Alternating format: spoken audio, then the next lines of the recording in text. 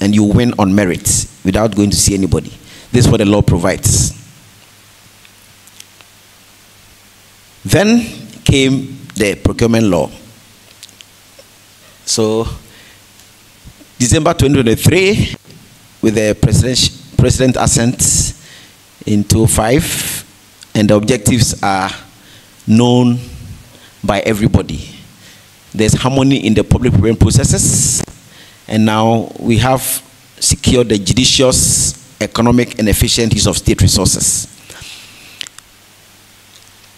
The law has been in operation for, when I say the law, the act initially was Act 663, and after 10 years of operation, there were a lot of challenges identified by practitioners, and they have been amended into the Amendment Act 914. So now we use both as the public procurement law. So this is just by way of introduction how the law has come to be. And this law is binding to the extent that you are using public funds to undertake public procurement, you are using guaranteed loans, you are using grants by governments. So it's not just um, the public funds, but even if government secures a loan, it comes under the application of this law. So, as practitioners, if somebody tells you he's going to do a project and he engages your services, you work, you work, you work, you don't go through the process, you have problems when it comes to payment. The audit people will query it. Where is the approval for this? Did you go through this? They will not pay. So it's very important that you ensure that the law has been complied with in undertaking assignments. I said we have different considerations when you find yourself in the public or private spaces. So this law applies to public procurement. Private procurement agencies like, um, let's say, Absa Bank, they have their own set of rules that you follow when you're undertaking procurement. But those are private. They don't necessarily have to come under this law. But they have processes that you, need to follow, all ensuring value for money, as it were, with those agencies. So if you are working for a private person, you don't necessarily have to use these laws. But for public projects, public procurement law applies. So we are saying that the essence of this law is that for the public sector, it is for public good the reason why we have different considerations is that public sector procurement is to ensure public good. Public good, we can decide that the government is going to build a stadium. It's for public good. So not necessarily making profits. But the private sector, the primary objective is to make profits. Even with this difference, it tells you that they will have different considerations. So, to the extent that they want profits, they are very um, amenable to changes, they can use any procedure or very fast way of achieving their aim because they are looking at profits. That is why I always say this example. At the ministries, those of you who know the operations of the ministries very well, people come to the ministries and decide that today I'll photocopy a textbook for my son. Right? So if you sell a product to the ministries or government agencies that will curb those practices, it will be resisted. In the private space, they have put in systems whereby it's very difficult to do some of these things because they're looking at profits. Right? And because of that, it is very important that wherever you find yourself, you know how they operate and how you also work with them. In both cases, they are all trying to provide value for money and being accountable for spending decisions and then adhering to their policies. This table summarizes it all. In the public space, they have larger groups of stakeholders to report to, including taxpayers, clients, and vendors.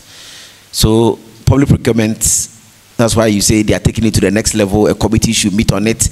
You have to be accountable. Practitioners deal with an increased level of red tapes and rules which must be adhered to. So a reason why the CEO will have to seek approval from the ETC If the threshold is higher, you go to the other higher body, central or the regional bodies for approval before you can proceed. That is public space for you. Greater emphasis on following policy and acting transparently. It has to be a transparent process because anybody can challenge it as a citizen. Those of you listening to the news yesterday, you've heard the games that the executive and the legislature are playing. Yes. It's very important that you are very transparent in all you do. Seen as a routine, operational, transactional, and almost a means to an end, highly regulated, and sometimes can be seen as inflexible. Yes. Without a process, you cannot proceed.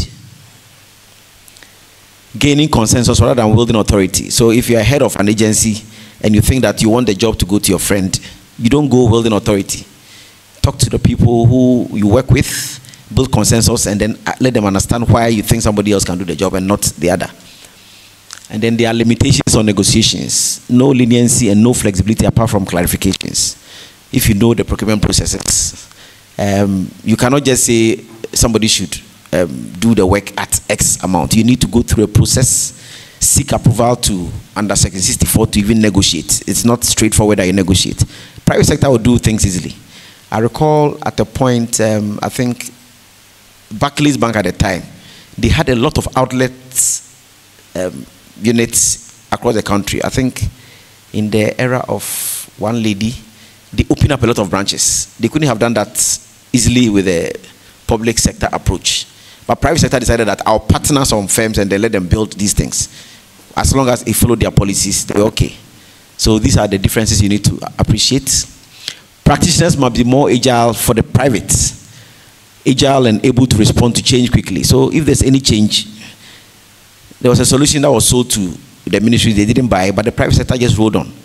If you want to network all your um, IT stuff and then you monitor the printing of documents, who prints and what quantities they print, and then they give it to a private vendor who will just come install your machines, and at the end of the day, they'll charge you per number of sheets printed.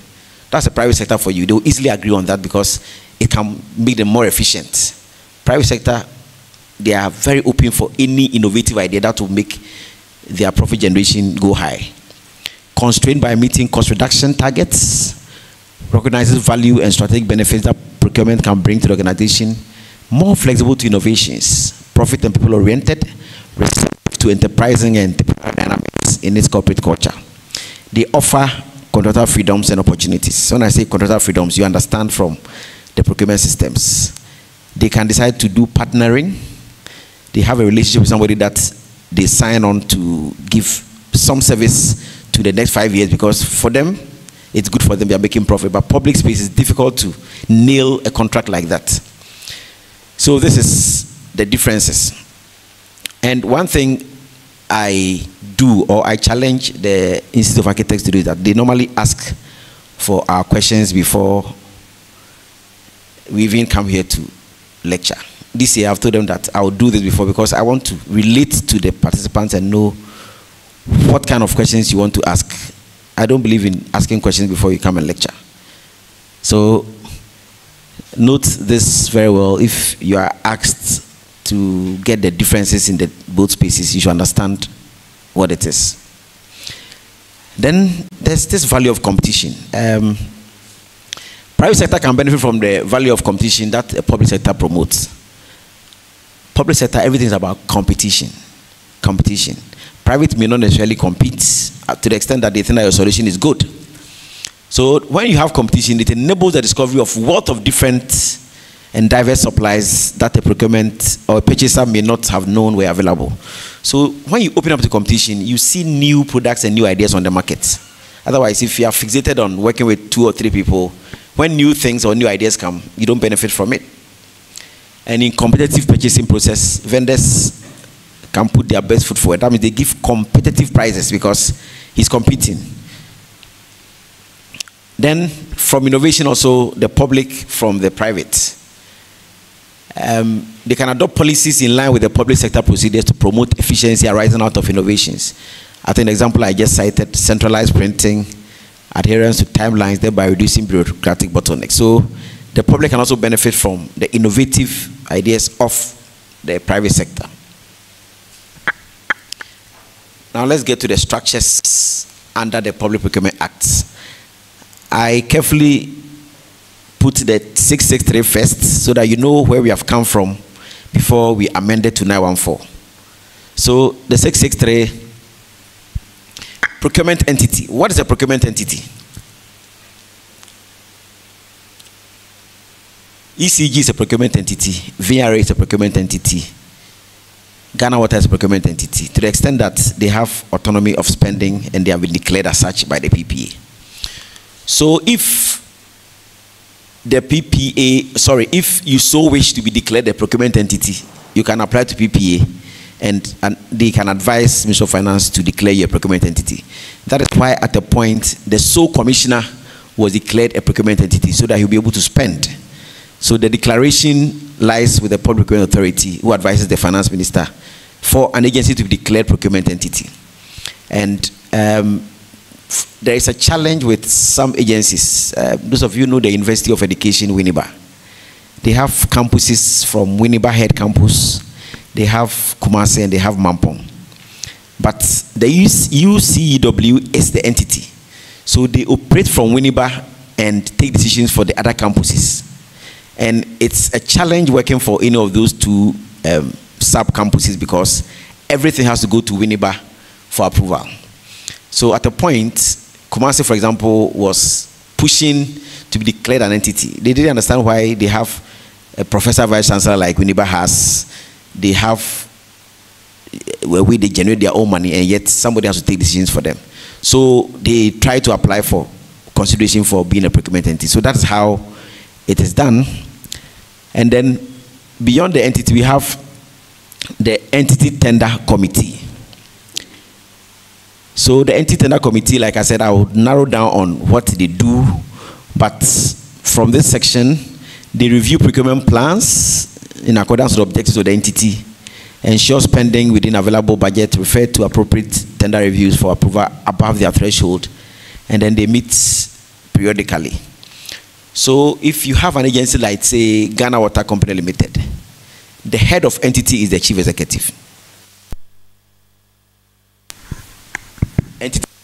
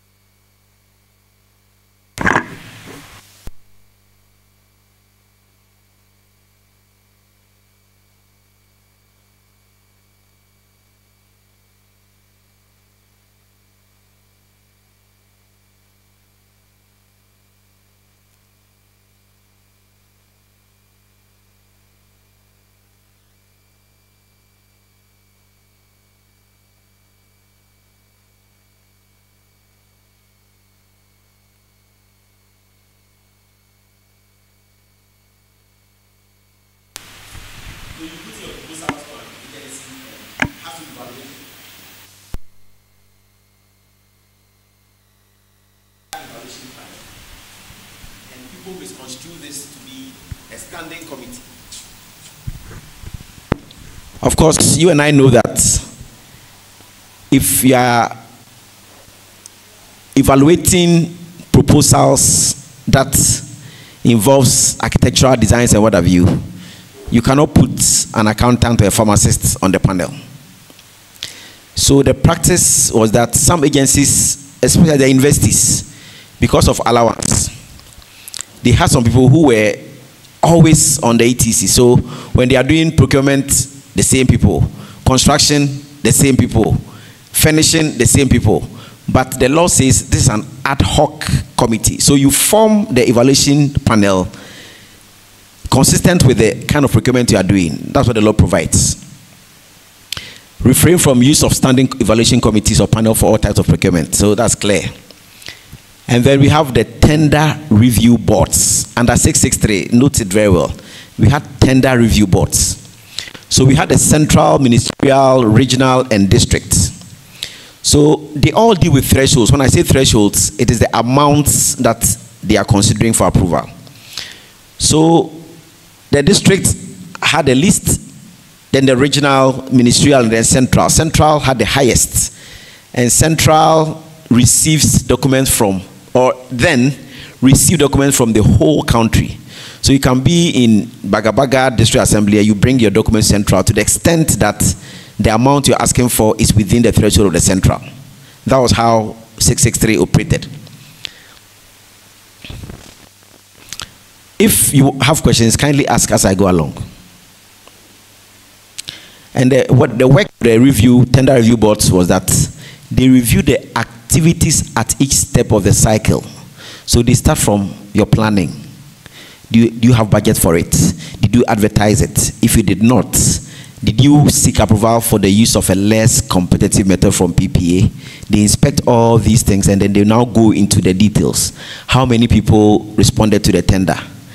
Among the people who responded, um, did they provide all the requirements? If some people have been taken out, what was the basis? Is it fair with the law? They go through all this before they agree to the recommendation that you have made for the job to go to Mr. X or Mr. Y. So, at a glance, this is it.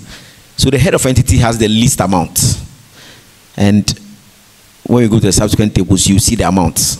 So as a head, the amount within your threshold, you don't need to go to anybody. You can just approve for the contract to be placed. But that is not to say that you don't have follow procedures. You still have to follow procedures, whether it is um, price quotation you used, whether it is restricted tender you used, open tender you used.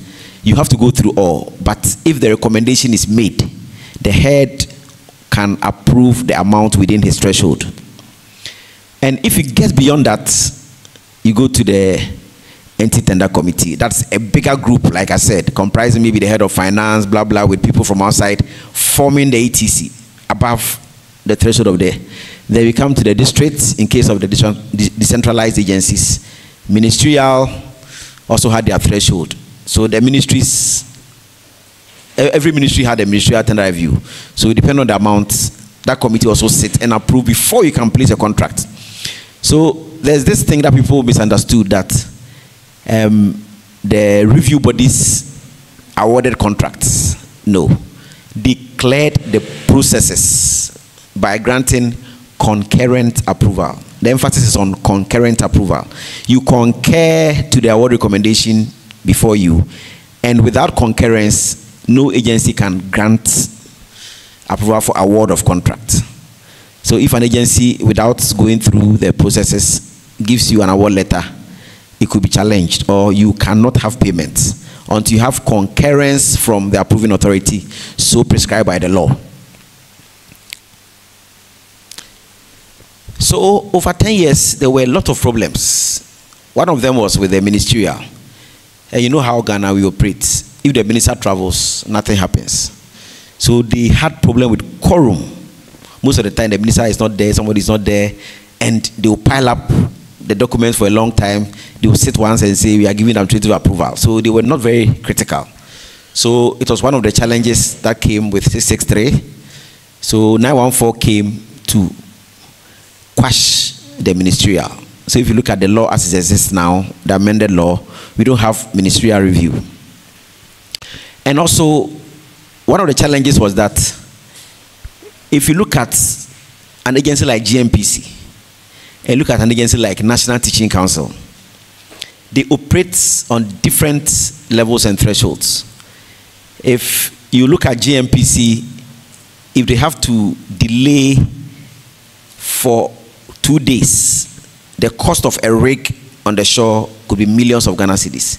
So their spending requirements were very high. Meanwhile, 663, we operated with the same thresholds for everybody.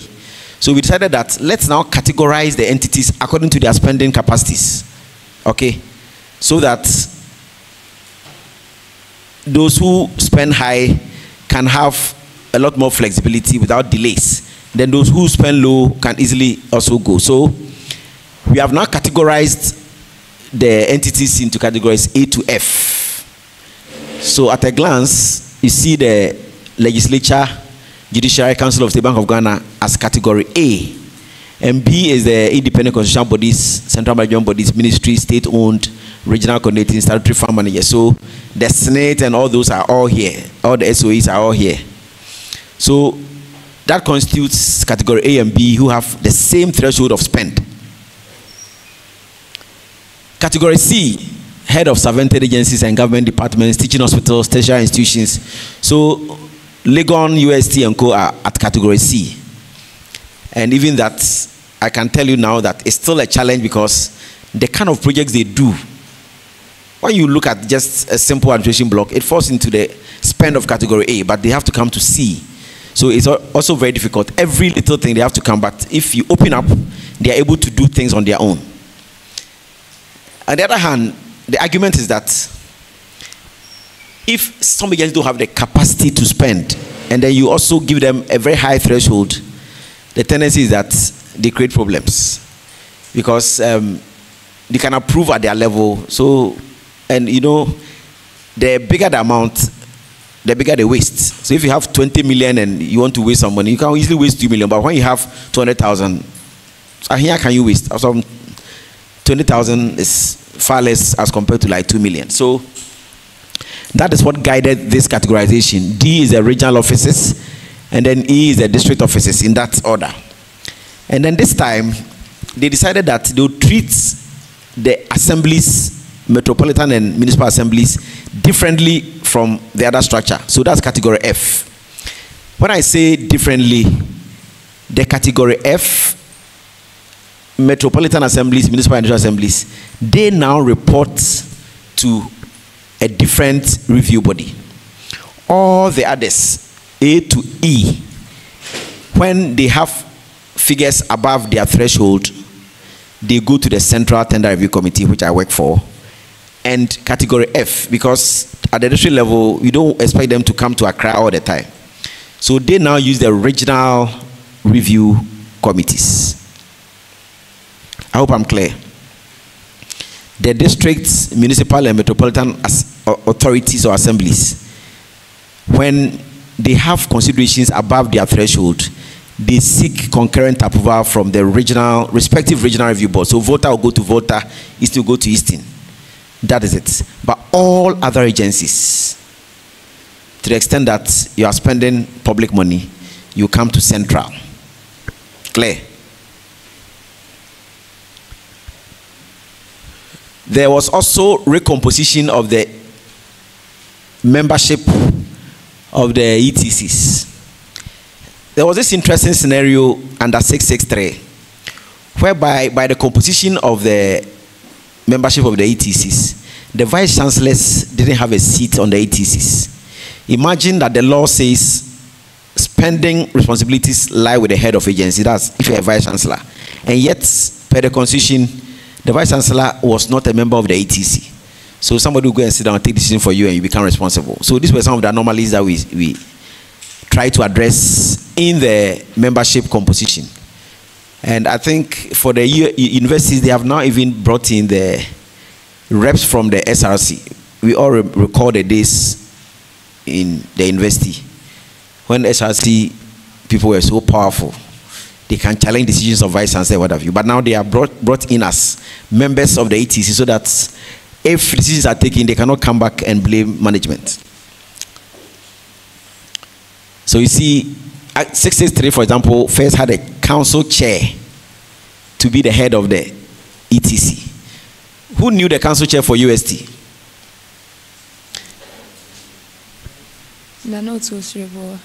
Before Tuosribo,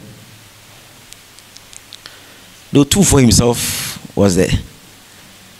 So do you expect Otumfuo to come and sit in an ETC meeting?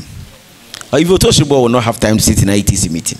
So now it's been amended for the vice chancellor himself to chair the ETC. So these were some of the things that 914 tried to address. At a glance, these are the thresholds. You don't need to keep this in your head. The act is there. You can always, it's a manual that you practice with, so you can always refer to it. So you look at goods. So the categories are here. The categories that we just went through A and B, goods, works, and services. So if you are doing any of them, goods, works, or services, these are the amounts.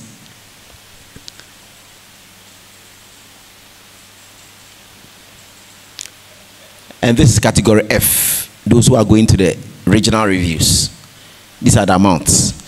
So the moment you cross this amount, you know that you have to seek approval from the next approval authority. Head ETC regional, head ETC central for them. I hope you are good with the structures. So if you are asked a question, and the question will not come in the form that what is the threshold of this? No. You, you'll be given a scenario whereby you are advising a client processes to follow to secure approval before a job is placed. You should be able to understand. Nobody will tell you that um, you have to go through the regional or central. The name of the client will be mentioned, so you should have to place it rightly that it is an SOE or it's a district assembly for which reason you go here.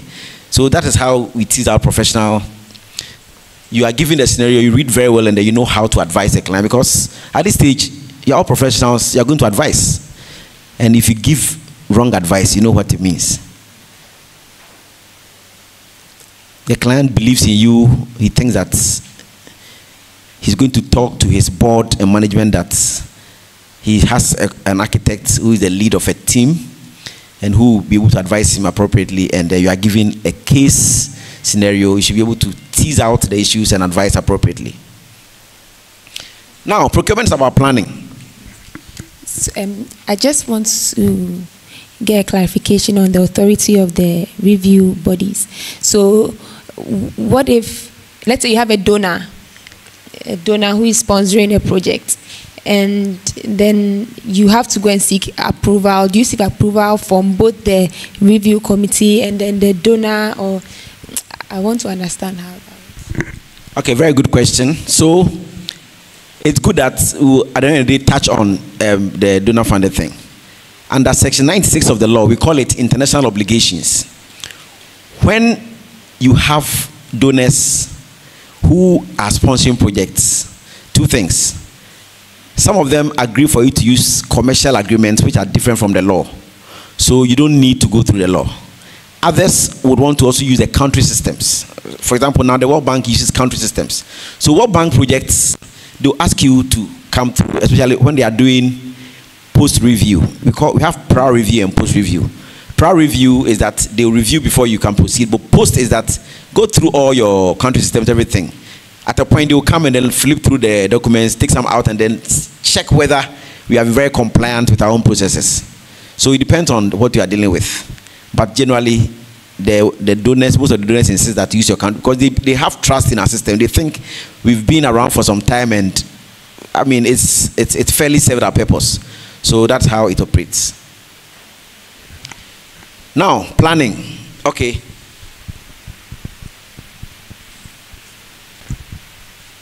Please, I just want to clarify. So that the hierarchy you showed before under the 663 that had like the entity, regional, da da da da da da, does it mean that under the 914 we scrapped all that? And then when we categorize them, just who they report to is who they report to? Thank you very much. So, 663, like I said, had issues. So, we scrapped them. Now, we don't have the ministry, we don't have the district. We have the ETC and then we have central, ETC, and regional, depending on A to E and then F. So now we don't use, there's no district review, there's no ministerial review. Right? Can we proceed? Okay. So there's a saying that if you fail to plan, you plan to fail. Procurement is about planning. In fact, if you decide that you, you are going to build, the reason why somebody will come to you as an architect to design is that he wants to plan. He wants to have a functional facility. So he wants to see you and then you put things in place for him. And the reason why a government to go through process of tendering is that he wants to plan everything. So if procurement you don't plan, there's a problem. So have you how many of you have seen a procurement plan before? Is a spreadsheet, a typical procurement plan. You mention the activity or package number. You look at the estimated amount. You look at the processes that you follow before you get where you seek approval for the amount to guide you. So it's something that the procurement officers work with. And it makes you clearly understand the process and time frames required for any procurement activity. So from here, try and get a hold of a procurement plan and see what the fields provide. So contract packages, estimated costs, procurement method, processing steps. So in the plan, you see the procurement method. So if I always argue that if I am setting a PPA, if you apply for the use of restricted tendering or single source, I will ensure that it's in your plan already before you ask for it. Because you all know the rampant use of these methods. Quickly, it's as if um, some people are the, they, they have the singular preserve for certain jobs. Any job, they'll put two, three people together, and then they go apply for restricted tendering. So if you don't know somebody, you don't find your name there and it's not helping us. We are not building our companies because the person has no incentive to build capacity and compete on a fair basis. To the extent that he knows a politician and he always have his name under some short list and then to be approved. And it's even worse with a single source. So it's very important that every procurement is planned and contract packaging you determine the scope and then the phases of the projects. And the law under 663 originally frowned upon um, when you try to divide procurement parts into uh, many with the hope of trying to swerve the, um, the scrutiny of a higher body. For example, um, let's say you are laying the pipelines from your office here to Dansoman. It's a huge project, right? It will have to pass through a lot of areas, lane of pipelines. Maybe it could cost, let's say, 20 million Ghana cedis. Clearly, that amount will take you to the approval threshold of central because anything above 50 million works will have to go to central. So the person sees 20 million and he, he doesn't want to go under scrutiny of central. So he will now do it lot one from here to um, Parliament House, Lot 2, Parliament House to Finance, Lot uh, and then all will be within some small threshold so that the head of entity can approve all. The law frowned upon that. Subdivide into parts so that you don't come under the scrutiny of. Then, estimated costs of contract packages. Here, I blame my colleagues, prof- um, professional quantity surveyors. And I blame my own Ministry of Finance that I work for. How many of you have witnessed um, budget defense at the Ministry of Finance before? So, as a country, it's sad that most of us in the space who understand the practice, we don't find ourselves at certain places. So, the people at Ministry of Finance are mostly accounting, economic people.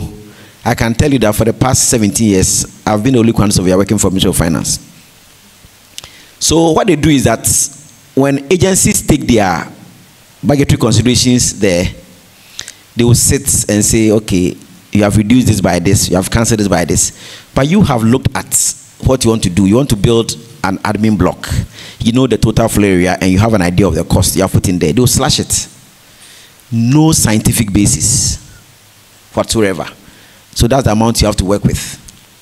So you ask yourselves if you are developing a procurement plan is your estimated costs based on realistic pricing? Are your designs accurate enough for you to even come up with a realistic estimate? And here to the architects, detailing is a problem. I, I still practice very well, and at times you have some drawings from architects and you wonder whether they want you to give approximate estimates or accurate estimates. They don't go into details. And for now, most architects have even left specifications to quantity surveyors. Your drawing should come with specifications. I have to understand what you want to specify for each of the elements, but they just leave it to chance. So in doing the abuse of quantities, we are forced to now generate specification for both of the items. It's, it's, that is what it is. So without the details, it's very difficult to determine costs on scientific basis, and that's where all our problems start. So you have small amount of money, so you place the contracts, you go on tender, and from day one, the tender figures you are hearing are far higher than what you have put in your budget. So some client will tell you that can we do facing? and when you go through review, we will ask you, you have 10 million and you're recommending 50 million. The funding gap, where do you get money from? Either you decide to face it or something. So this is where our problem starts. Procurement planning, realistic pricing, very important. Procurement method. At the time you are planning, you should have an idea of the method you want to use. If the job is such that the conditions in the law allows you to use restraint and bring, so be it. Put it there. If it is a proprietary item, national security concerns, for which reason you want to use single source, put it in your plan. Otherwise, the default is competitive method all the time.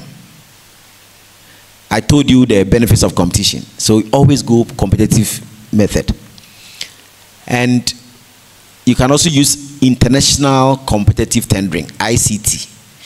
If you deem it that the works is such that you cannot have local capacity to do it, use international. And here, there's one thing that I always draw the attention of practitioners. Section 44 talks about national competitive tendering. 45 talks about international competitive tendering. And if you go to the thresholds in the law, it gives thresholds for international and national. You may be misled into using only the thresholds to determine that jobs that have this threshold should go to ICT. But you always have to combine the section provision with the threshold. It is only when you cannot have local competition that you go international. Just don't be guided by the threshold amount. Because by so doing, we are giving all the jobs to our foreigners. And you know the menace of Chinese taking over our construction industry. Yes. So you when you have a job, you just walk to a bank, you take a facility at 32%, and you'll be working for towards that to pay. The Chinese government has released a lot of contractors in our system. They have equipped them, given them capital to work. So he comes, he can price very low because equipment is spreading over years to repay. You can never compete with them. So if we are not conscious of helping our own people, we will never get the jobs to our people and we can't build capacity. It's a shame that after independence, this year witnessed one of our own being given a job on the motorway. Otherwise, it would have been said that even motorway construction, we have to bring foreigners to do it. This is the only year that the bold decision has been taken to give the motorway construction to a local firm. So we are not building capacity as a country, and it's a shame. Processing steps and times. If you are developing a procurement plan, you should understand that advertisement will take minimum X period. If you take an advert to graphic operation, two weeks' time is when it will come, depend on it. So you plan all your procurement plan. Steps and times. The period for which you do evaluation has to be allowed for in the plan. If the threshold is like that, you go for approval from, let's say, central or um, regional, you have to look at the, their operating periods and allow for time that they will possibly approve. So you have an idea of when you start a project. And the planning will now influence you whether you should use um, open, restricted, or what have you. So procurement plan is an art. The planning is an art that needs thorough thinking through. You just don't draw a plan like that. You understand the processes practically, what they mean to you in terms of the time and processing steps before you have a plan. And procurement starts with plan. If you bring any requests, we inspect your plan. And the plan will tell us that whether you have provided adequately for it, you have a budget for it, before approval is granted. Without a plan, we will not even look at your requests. The general rules procurement planning process to be fully integrated with applicable budget processes. So we encourage agencies that um, the amounts they allow for, they should make sure that it is consistent with the budget that they've been assigned by the ministry. So if for example, Ghana Water, you've been given 20 million to spend as a, for the year. And we see your plan and your plan is more than that, there will be a, a question. There are times we've even gone beyond that by asking very discretionary questions. Um, an agency had X amount to spend, and he used 60% to buy a Mercedes Benz for the chief executive. This is questionable. Yes. No, that is how we operate as a country. So the CEO decides that he will drive this particular car and he puts the money meant for the operational activities of the agency to purchase a vehicle for himself. And the Land Cruisers you see around, if you look at that and you look at considerations for staff for some agencies, it's it's killing. So these are things that at times you are forced to act depending on how critical it is. So over the period, you are trying to now marry the financial um, management regulations with the Procurement Act by asking very pertinent questions. So, like what you said, the thresholds, do they come with like caveats for sections that apply to it? So, if let's say you have the 20, does it say maybe this amount is allowed for works, this amount is allowed for services, sections like that? No. So, before you are given an amount as an agency, you first of all send your budget. That's why I asked who have been at budget defense before. You prepare your own activities and corresponding budgets for approval. And I will say each agency's own is a wish list. You wish that you had done all this, but you come to finance and finance will say, This is how much I have available. So you go back and then you reassign and know, know what and what you want to do, depend on your priorities. Okay, let me tell you this also. So there's also a banter between the management of agencies and the boards. The role of governing boards is that they approve programs of entities. So if you hear board chairman with board members of let's say GNPC, they approve general programs. These are the programs I want to do. And then when the programs are approved, management now drills down and look at the activities under the programs and put cost to them before they go to the ETC for approval. So what happens is that some board chairs by way of clouds are very powerful.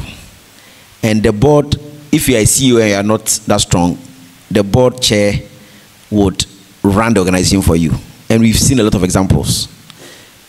Some board chairs even have offices at the premises of the agencies, which is not allowed in governance system. You are board chairman, you come for your periodic meetings and you go, you advise on policies, you look at trends, what's happening. But some board chairs have permanent seats at agency offices. And I know some board chairs that day-to-day activities are sent to their homes for them to critique and approve or what have you. These things. And it's all about clouds. For instance, let me be a bit personal here.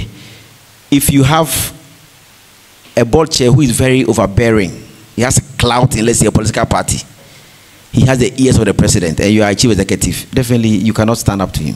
When he says this, you only have to oblige because he has the ears of the president and can. That is the practical issue here. So I just brought in that example because I want you to understand that the programs are different from the activities. You are confused. When I say programs, maybe this year we want to um, build our head office, we want to train our staff, we want to buy or replace the vehicles of the three top management staff. These are programs that you want to do as an agency. The board says, okay, fine. Like GNPC, we want to develop um, one of our oil fields. It's a program that the board has approved for it to be done. But how do you do them? So now management will now come and draw down and say, okay, these are the activities that we need to do to be able to do this. And they'll put that, convert it in a, into a procurement plan, assign budgets and the steps that they need to follow. It's approved by the ETC. And then the implementation is done by management. That's the head of agency and his team. It's not done by the board. The board sits at the top, having approved the program. They can only come for meetings and want to inspect progress. What are the challenges? Are there um, things that we need to know? But they don't look at the day-to-day implementation. Some people want to even know who the job goes to. They want to influence it. That is the practical issue I'm talking about here. So, general rules head of department unit projects and programs are required to ensure the analysis and preparation of annual procurement plans for their own areas of control. So if you're a procurement officer and you are putting a procurement plan and you sit in your office alone and you just put the X amount, this, this, you have challenges. Talk to the user departments, IT department, um, transport, and then get their input into your plan because they understand what they want. Else, you end up going to buy a computer that will not serve the purpose because the IT people should know the specs they want. Transport officers should be able to give an input in the vehicles because they know the performance, the maintenance history, and expectations. So, before you do a procurement plan, bring all the departments on board, get their inputs, their buy in before you send it for approval and subsequent implementation. I hope that's clear. It's like at the district assemblies, you know, we have district engineers and there's also some um, turf war between the district engineers or construction operatives and the procurement officers. They on the procurement officers are supposed to be coordinating the procurement function. So you don't allow a procurement officer who is a good trained person to prepare bills of quantities or to prepare designs. But the district engineers have challenges because at times their input are not taken on board. So the project starts and there are problems. That is why agencies, big ones like VRA, ECG, they have departments for procurement and engineering departments. They separate the two because engineering procurement is far different from normal goods procurement. And it has been something that I've been championing. If you leave the procurement officers to handle engineering procurement, there's always a challenge. They don't understand the basics. You are doing a design and build procurement and you leave it to chance you have to get somebody trained in the field to and uh, appreciate and interpret the conditions. Yes.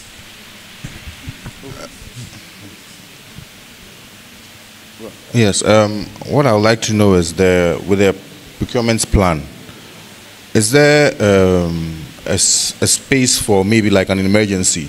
So in case maybe an agency needs something urgently, is it part of their plan or they have to go through uh, the Ministry of Finance to um, get it?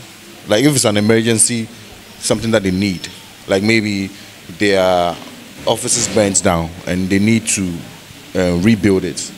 How do they go about that? How do they get funds for that? Okay, so he's talking about emergency situations.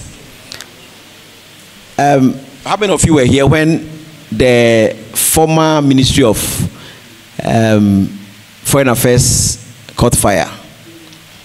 Tama Station. Yes. So that was a typical case of. Okay. A typical case of an emergency procurement. So under Section 40, you single source, you can single source and PPA will grant that readily for you to address any emergency situation. And even the condition for approving, uh, for seeking approval for single source is emergency. National security considerations, they are all conditions under which you can seek approval.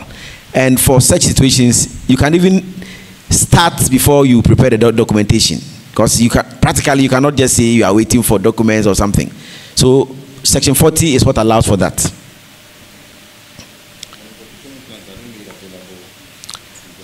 Yes, so that's a very good question. He's asking whether the procurement plans are made available to the public. Procurement plans are not secret documents. They are not secret documents. Every agency is encouraged to make available their procurement plans so that would-be suppliers and potential um, service providers can have an idea of what you intend to do for the year and then they can also prepare themselves to meet your requirements. So procurement plan like any other procurement document, should not be a secret document. Yes. So you said section 40 is triggered in the case of an emergency. So how are you? Okay. So you said section 40 is triggered in the case of an emergency. So how are you? How do you handle the cost implications? Like um, how much the things will cost in the case of procurement?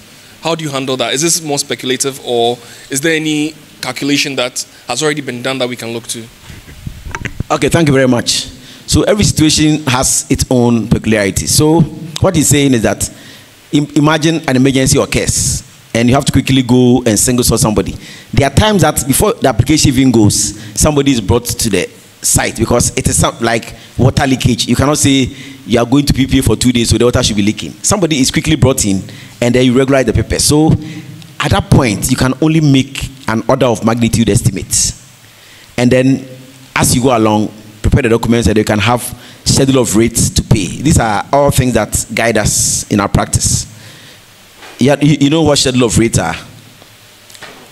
Yeah so schedule of rates is that you look at rates for uh, possible items under that particular work you agree on them. So as and when they occur then you use that to pay. So you, you not readily know the amount exactly because of the emergency situation. Shall i proceed? So, entity tender committees, like I said, you can sit on it as a member or your work will go there. So, you should know what they do. And that is a body above the head of agency. They have a higher threshold to approve.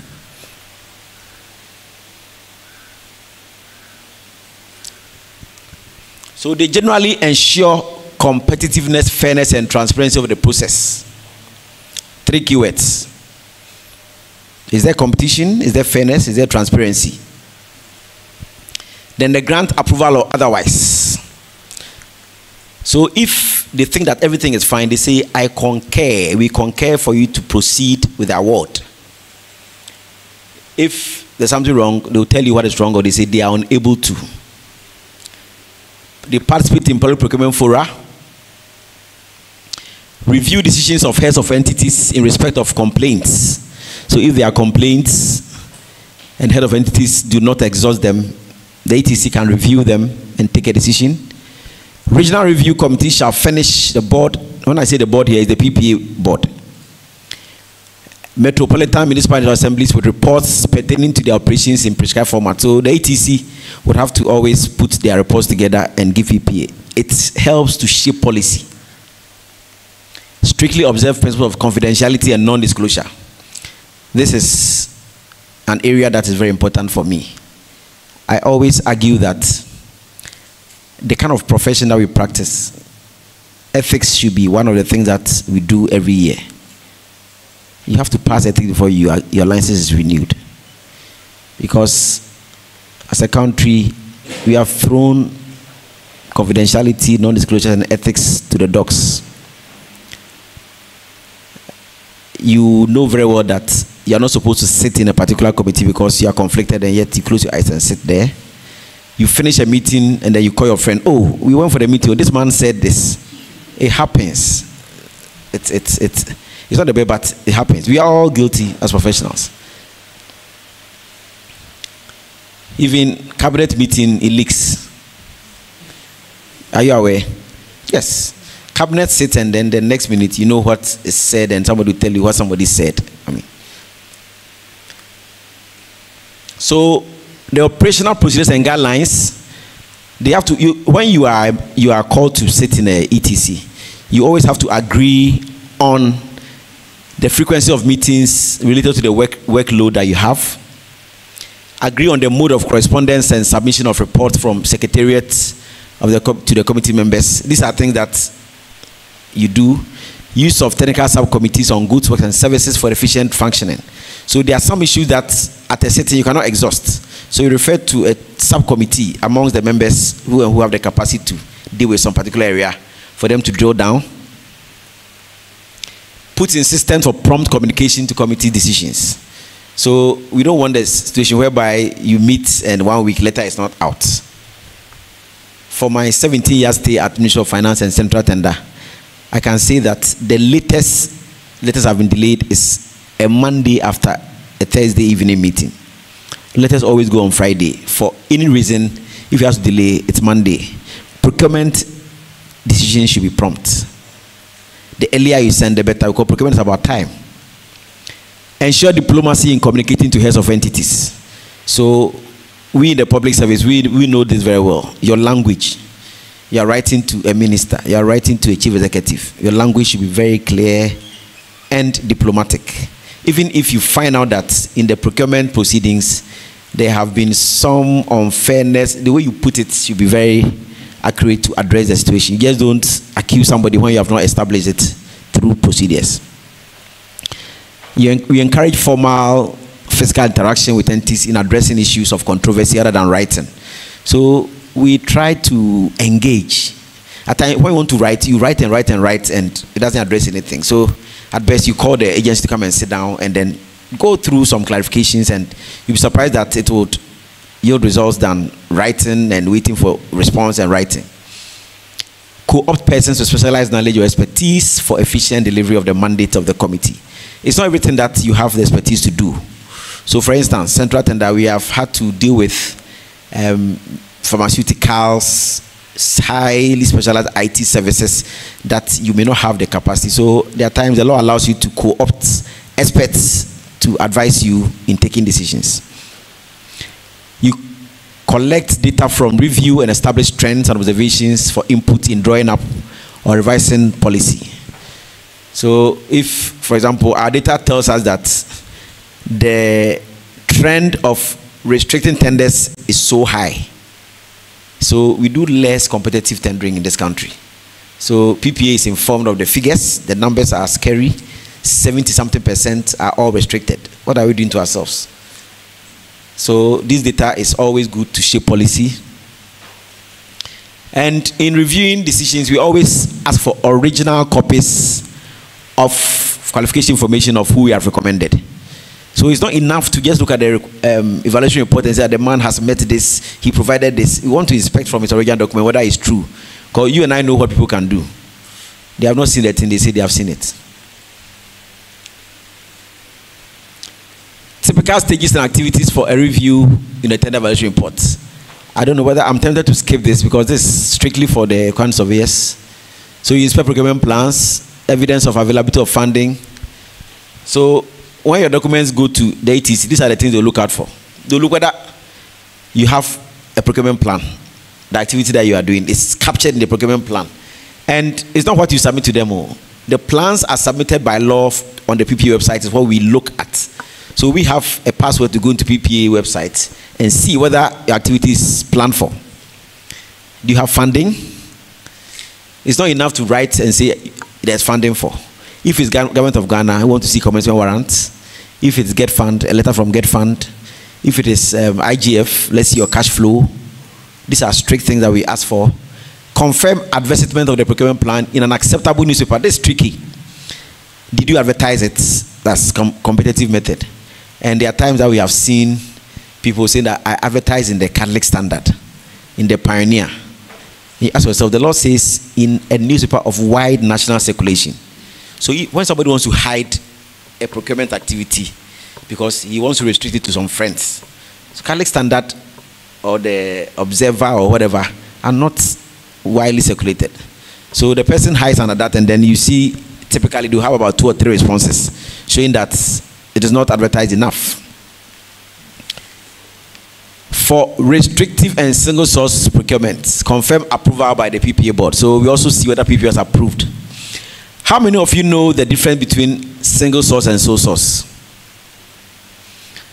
Have a prize for that if you get it correct. We use them interchangeably.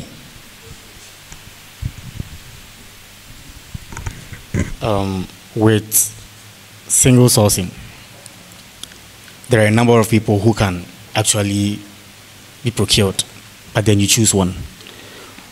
With the sole sourcing, the one you're procuring is the only person who can actually do whatever you want him to do. That's the difference. So for his price, I'll give him one one question, Apple. Okay, so that's what it is. So single, you are singling out of many.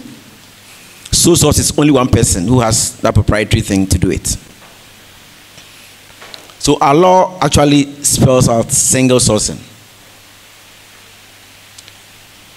Compliance with minimum periods allow for tender preparation consistent with. So, for example, ICT says six weeks minimum preparation time. So, if you are a consultant and you are doing ICT, you go for advert and then you do three weeks it comes review, we say not adequate preparation because the law says this is the minimum period. We look at all these things. Uh, what is happening?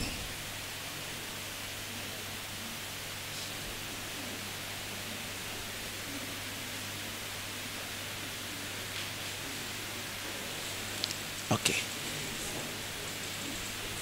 Okay. So these are the checklists of the things that I will leave the slides with you. The checklist of the things that a typical ETC would sit and look at, inspect minutes, confirm, tender opening records with information, carry out checks. So these are the things. If you're an ETC member, look at the things that you look out for.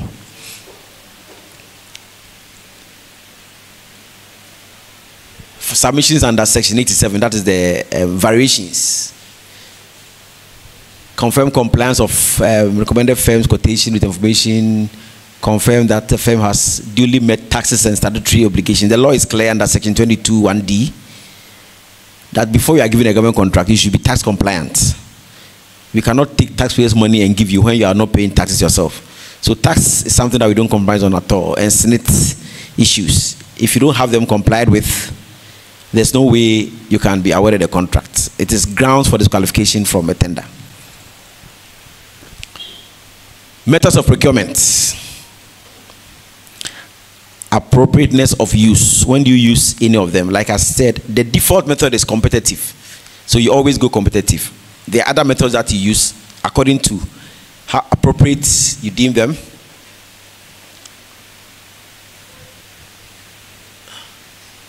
Yes. So, how many of you have used two stage tendering before?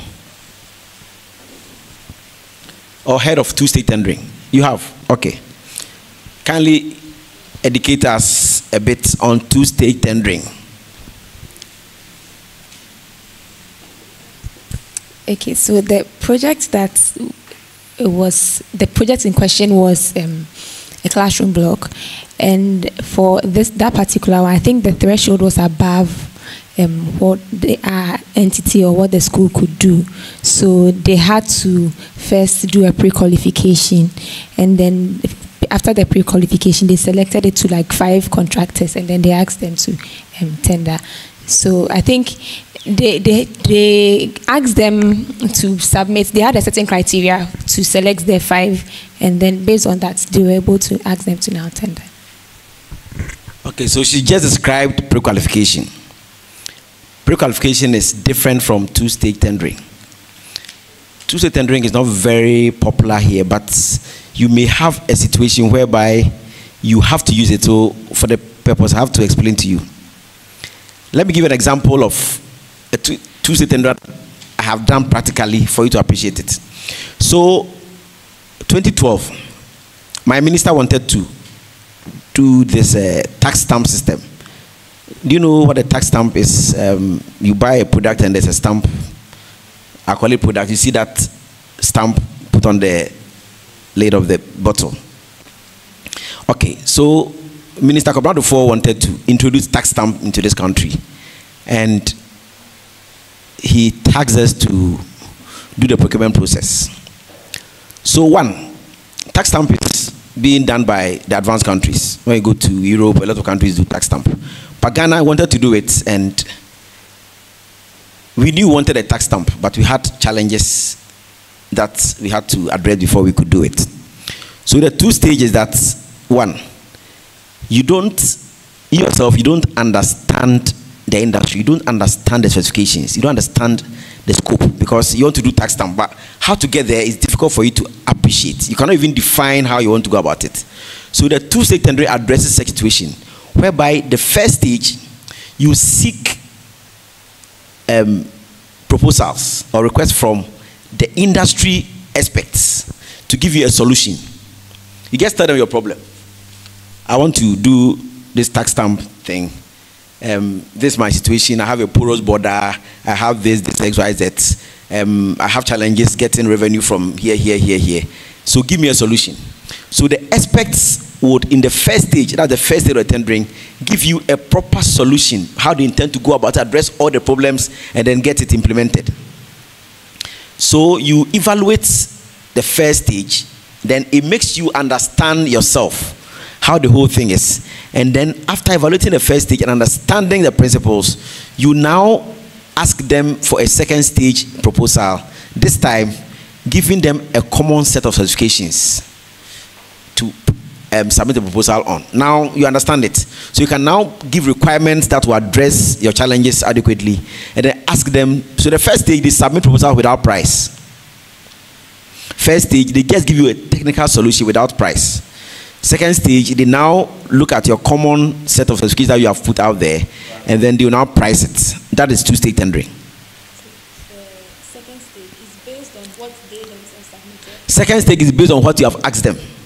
By your understanding of the first stage, you draw up now a standard requirements that the whole have to respond to on a fair platform. You know, see, procurement is about having a fair or common platform to submit a proposal. So now I have been able to understand it. So I'm now asking you to do X, Y, Z. So respond to this on a fair platform. But the first one is just everybody bring your solution.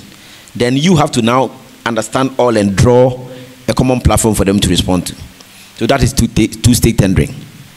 I'll not bore you with all the explanation because I've explained it. Restricted tendering, section 38 is clear. The condition under which you can restrict. And I think it's a bit of an abuse. Because if you are building a classroom, they restrict it. Small road, they restrict everything. They will take three, four names and go to PPA and get approval for. At times, some of the names that are able to seal to the approval, you wonder whether, but somehow they make it.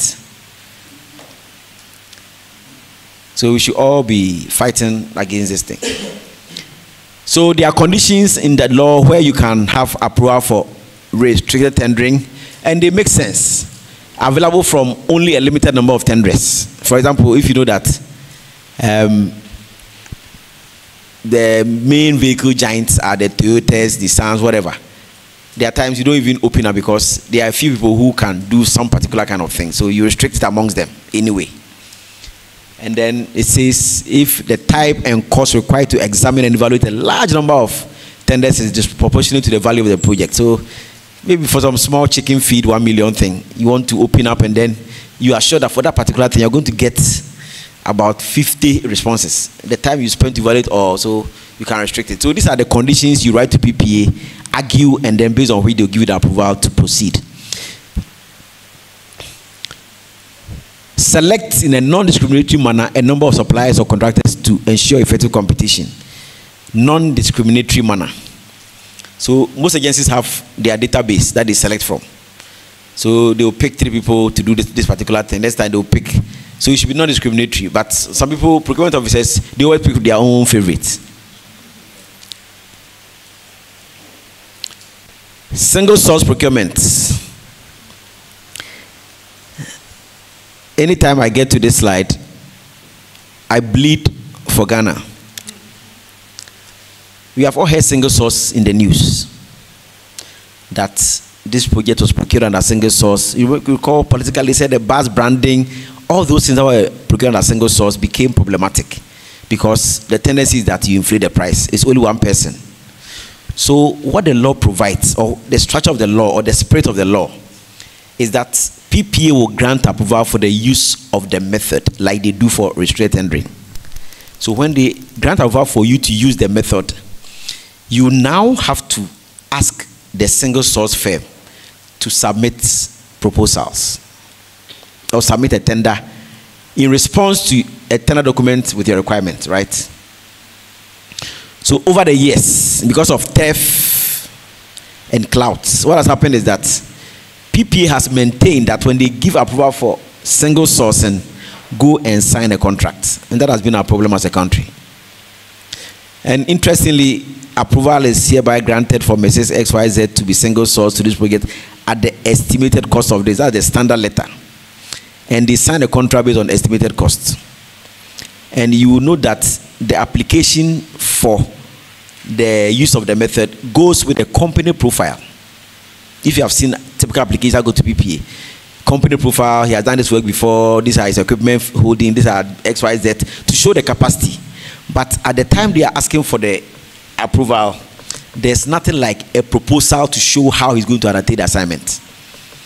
You know, proposal that will show the methodology, how he intends to do this, how he has pride for it. It doesn't go at the time. The capacity goes, so you can assess that the person can do the job at this estimated cost. But then when they give the approval, PPA says go and sign a contract. So they sign a contract sometimes without standard conditions.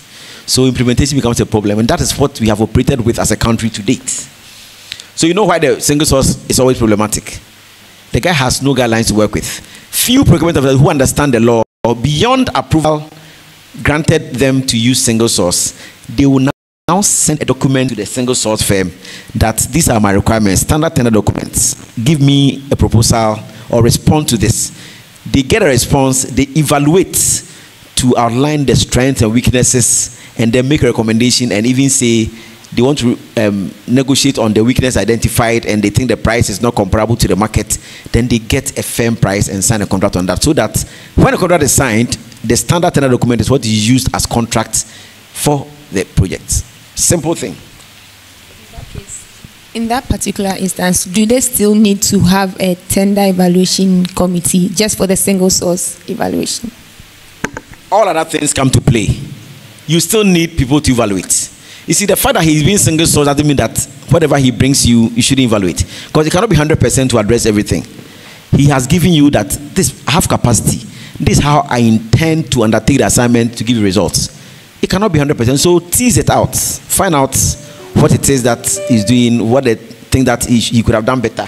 And then address them before you sign a contract. But as the law operates now, it's like um, we've complained over the years, but the decision makers also benefit from their people being single sourced, so nobody wants to address them.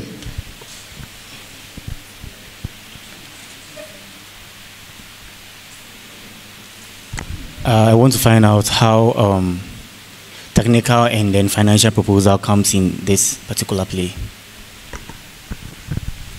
So he's jumping the gun. I would have come there anyway. But technical and financial proposals are for services. So if you are procuring the work, um, a services assignment, they will definitely give you a technical and a financial proposal. So, like I'm saying, single source, if you are single sourcing the services of let's say architects, some, some, something. You get the approval, you take the company profile and the list of jobs he has done, his capacity, establish it, and then you have give, been given approval to use Mrs. A to undertake the assignment. Now you ask him to respond to your RFP, which is prepared already with all your requirements, by giving you a technical and financial proposal. So you put those proposals together, seal separately in one envelope, you open technical first, you evaluate before you open financial. That's what happens. We will come to that in a bit. Please, I need a bit of understanding. Um, okay, sorry. Um, I want to find out the ETC. They are the main body that um, approves procurement from the various sectors. So, like, let's take ECG, for example. They want to undertake a project. They have a procurement officer as part of their organization. So the procurement officer is the one that sits to come out with the procurement procedures, what they want to, okay, not alone, with all the other people within it. Okay, then that document they've come out with they submit it to the ETC for the ETC to give them approval that this uh, method you want to go about your procurement is approved. So you can start your procurement processes. Then now they go through the tendering process. If, it, if it's um, restrictive tender they go through that sole sourcing. So that's the procedure. Okay. A very good summary so uh, this is a question online. Someone is asking the difference between procurement and tendering. Tendering is the processes that you follow through to get your procurement activity delivered. So procurement is um, the layman's you say you are buying. You are procuring the services, you are buying goods, procuring works, but tendering is the procedures, the process that you follow to achieve that. Right? Yes, madam. Um, I think um, I'm finding it hard to understand some of these things because because um, some of us are not um, privy to public procurement, and so um, I would ask that um, if you could mention, let's take it for example, um, a public service or um, an entity like say um, a hospital wants to procure the services or goods or something. Um, where does the Ministry of Health come in? Where does the Ministry of Finance come in? Where does the ETC come in? Where does the PPA come in? And then um, how, like what exactly um, are the roles they play in ensuring that at the end of the day, this hospital gains um, whatever they are procuring? Something so that I can really follow. Okay, thank you very much. So, Public Procurement Authority is mandated to regulate procurement policy and issue procurement guidelines for the implementation of the law, PPA. PPA sits under Ministry of Finance. It's an agency under Ministry of Finance. The law, as we know as the Public Procurement Law, mentions the Ministry of Finance as responsible for the law. When you read the law, anywhere you see the minister is the Ministry of Finance.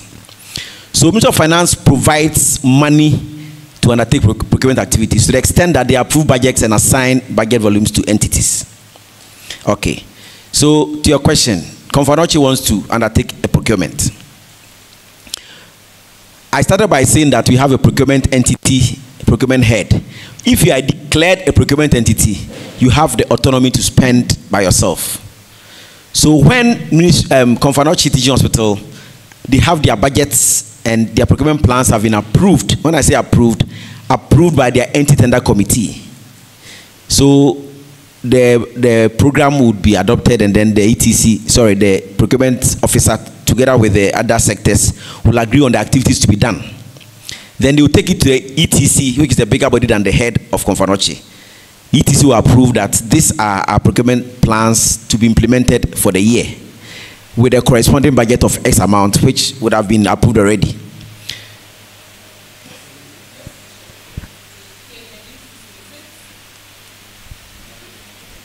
Just to interject here, here the ETC, is it a part of, let's say, Komfo Anokye, are there Komfo Anokye representatives, or is it a whole different body?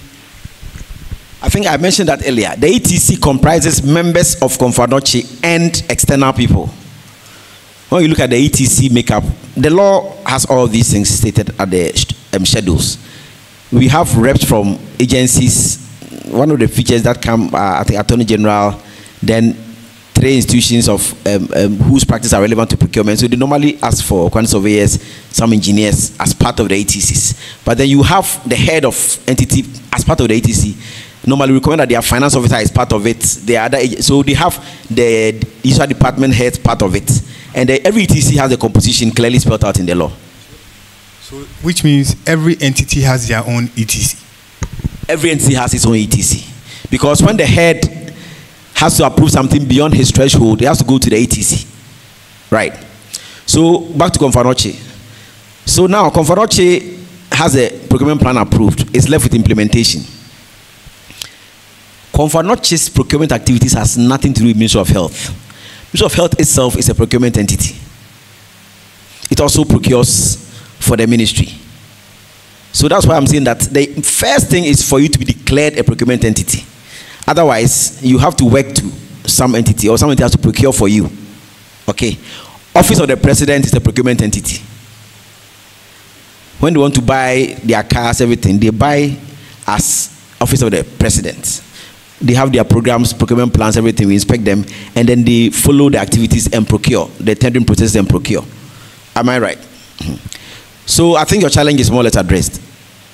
You wanted to know how Ministry of Health comes in, but I'm saying Ministry of Health in a particular instance of a hospital is also procuring. So you don't need a of Ministry of Health to do a particular procurement when you have your plans approved as an entity. And so um, I have clarity on the role of ETC in this situation. And so um, who releases the funds for, Komfo or they have their own funds? So a particular entity may have sources of funding, but the major is maybe those who rely on the consolidated fund is government of Ghana. Some have some agreement with some donor people who bring the money, like Ministry of Health. They have global fund supporting them throughout the year. So when you look at their procurement plan, they will say that the funding is coming from GOG, GOG, Global Fund. So they can have sources of funding. Some of them even have IGF, internally generated funds. And that's what the universities use a lot, IGF. But, but per the numbers that they admit, they make a lot of money. The university, you, you can see that they are doing a lot of projects. Most of them are from IGF. So depending on the source of funding, they will state that in a particular procurement plan where the source is coming from. So it's not from just one source. But there are some agencies that only have from one source. They're very poor agencies. If government doesn't give them anything, they are stuck. Finally, what's the role of PPA? PPA is the regulatory body for procurement. One, by law, they grant approval for the use of the less competitive methods, restricted tendering and single source. That is one of the things they do. But the main focus of their job should not even just be granting approval for the methods. It's just on the side. But they have to be shaping procurement policy, getting doing procurement training, getting um, data from agencies, challenges, and addressing them in revising the procurement policy, giving guidelines for practice. These are the things that PPA should be doing. I, for example, I'm a bit disappointed because something like um, evidence of access to funding. If you look at the letters that the banks write to confirm that they will support firms to undertake assignments, they will say that subject to our favorable lending criteria, it is always conditional. It doesn't really confirm. And these are things that people should come up with standard formats that somebody would follow. But it has never happened. The focus is more on granting approval for the methods than any other thing. But they are supposed to be shaping policy, giving regulation, giving guidelines on public procurement. Based on her question about where PPA comes in, so in the same Komfo Anokye, the ETC says it's okay.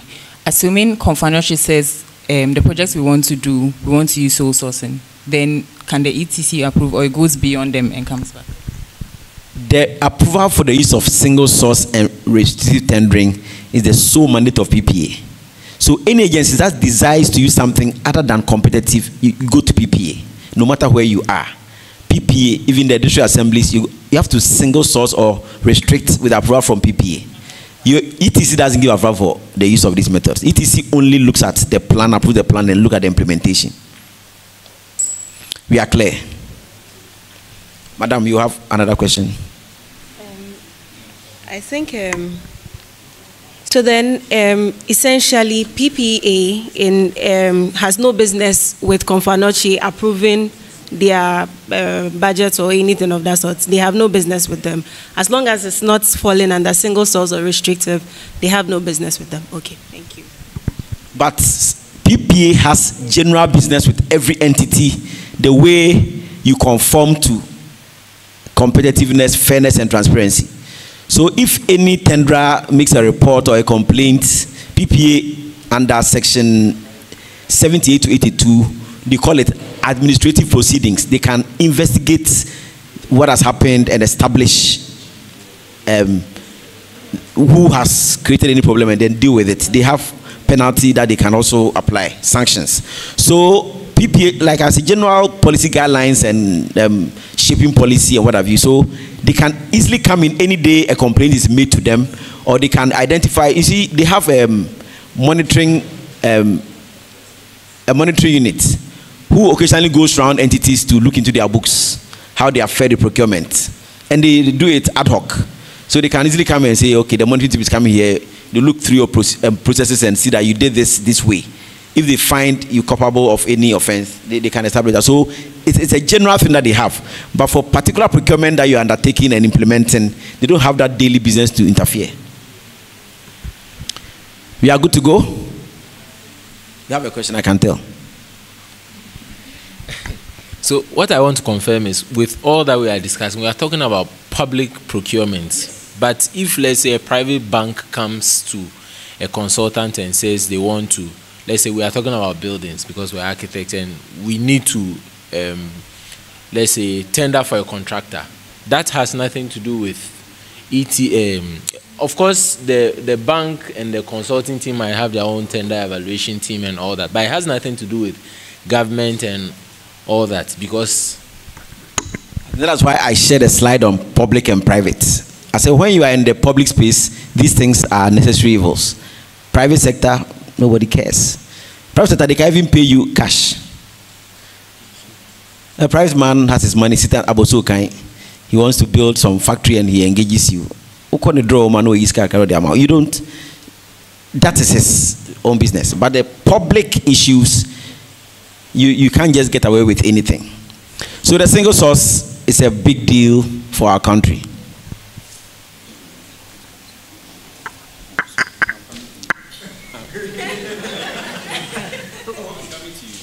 No, I was coming to you. Okay.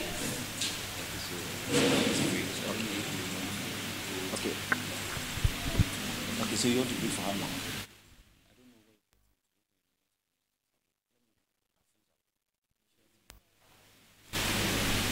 Please, with the ETC, let's take Komfo as the example they gave.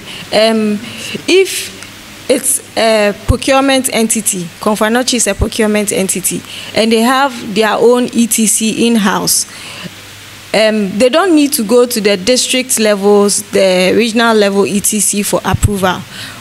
But if we take organizations that don't have, they are not procurement entities, that's when they go to the districts and regional levels for approval. Okay, so let me explain further. The district and regional levels have been scrapped. I think I was clear on that. That was 663. Now 14 doesn't have them. But you only go to a higher level, i.e., now the central and then the regional, depending on A to E and F. You only go there if the threshold is above that of the ETC. Let's say ETC has 2 million at their threshold. So anything beyond the head, let's say the head has 1 million, it is 2 million. If we are dealing with 1.5, the head cannot approve. So the head has referred to the ETC to sit and approve. If it is 3 million, ETC will sit and say that 3 million is above our threshold. So we refer to central, as it were. Yes, but ETC refers to a higher body, it's not head or management. Under section 17, the ETC, looking at a particular procurement, if it's within the threshold, approves. If it's beyond, they refer to a higher threshold body to approve. So it is the figure that will take you to the approval body. That's clear. Okay. I'm told it almost breaks. So we do price quotation. This is where all the monkey business happens you know, single source and code, they have their own problem. But price, price quotation, every procurement officer just gather three invoices. It is very small threshold procurement. Stationery, these things, they are, but they are on daily basis. You are buying toners, you are buying this. So they just gather three invoices and then look at the list and then they say, oh, supply. But they don't even do it properly. What the law says is that you still have to write a report because you don't have to advertise price quotation. You just look at minimum three companies, but you should be seen to be giving them some document to respond to. Professionally, they just take the invoices and then look at the list, and then they say we have recommended this, but nobody checks. You have to prepare a standard document, small document that has requirements and has standards that you are supposed to meet, and even conditions if the person fails to supply, and then you send it to them a small document that occasionally you just release, you change the date and release. And then they just look at three invoices, the list amongst them. So it is always go and bring two friends. I want to give you the supply, bring two friends. So if they keep an eye on this, there could be a lot of savings here. Because the kind of thing, it's a daily thing. They, they may look small, but the, reg, the regular nature makes it very wasteful. 44, I've thought about it, NCT. I think I mentioned that you look at it with 45 when we are doing ICT. Um, this is typically quantity the contents in an invitation document. These are things that standard tender documents you have to go through, but I'm not sure they are meant for you. Procurement of consultants. That is very important to you. So when we come from break, we'll go through that. Thank you very much.